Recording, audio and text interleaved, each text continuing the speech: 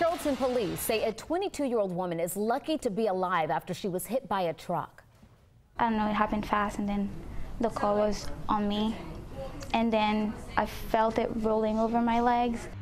My goodness, this happened near the intersection of Maple and South Streets. Surveillance video shows the driver did not stop after hitting Malva Buvis, but bystanders rushed in to help. Right now, the University of West Georgia student is in the hospital with a broken leg and other serious injuries, and she has a message for the driver who hit her.